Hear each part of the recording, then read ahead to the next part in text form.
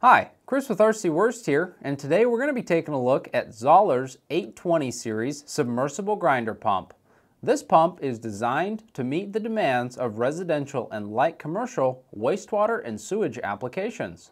These grinders are ideal for high-head applications involving single-family residences and cottages. Equipped with an inch and a quarter NPT vertical discharge, this pump can handle capacities up to 46 gallons per minute and heads up to 107 feet, which is quite a bit of lift. It has a 2 horsepower oil-filled motor which is available in single phase only. Dielectric oil is used in the motor to provide superior cooling and lubrication, allowing the motor to provide years of trouble-free service.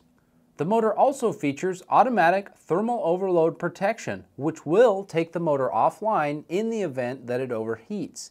The upper and lower bearings of the motor in this pump are a ball bearing type, which is ideal for this configuration of pump.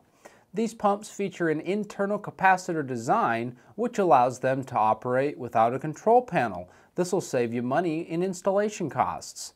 The Zoeller 820-0005 and 820-0011 come complete with a 2 horsepower rated wide angle piggyback float switch for automatic operation of the pump. Complete package systems are available for the 820 series grinder pumps for simplex installation and to save time on the job. The water-resistant power cord comes at a standard 20-foot length. The Vortex impeller is made of an engineered thermoplastic, which provides a high level of corrosion resistance and helps to prevent clogging. The mechanical seal is constructed with a ceramic stationary face and a carbon rotating face, and it's field proven for long service life.